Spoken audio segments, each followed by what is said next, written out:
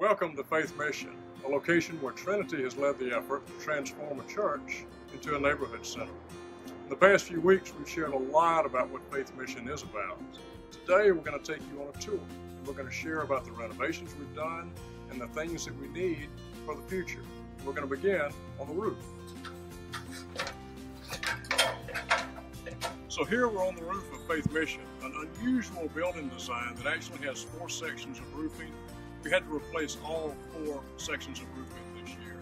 We also replaced the windows that you can see behind me. They had been painted black, they were cracked and leaking.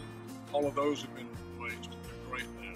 So this is just an example of the type of thing we've done renovation-wise. We're going to go downstairs now and look at the building. So in the backyard of Faith Mission, you can see the Kids Count building behind me. We're going to go into the main building right through the breezeway.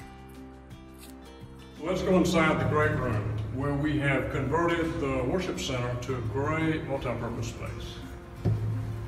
Come on in.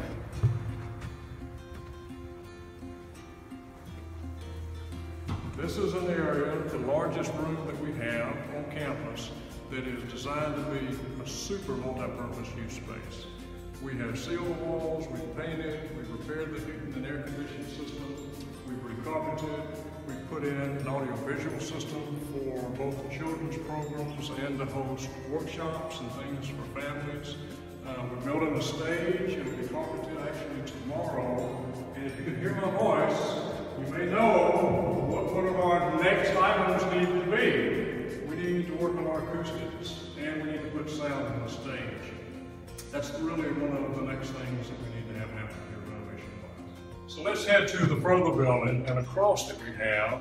I'll share as we walk through the breezeway that we have replaced all the doors and the lock sets in the building. The cross up front is one that was actually donated to the church uh, many years ago by a family who lost a son in the Vietnam War. We're going to clean the copper and backlight it primarily with volunteer help.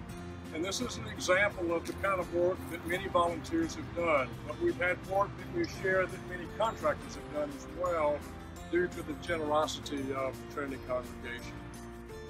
What an opportunity we have here at Faith Mission to serve with our neighbors, to walk alongside them for the well-being of us all. Thank you, Trinity.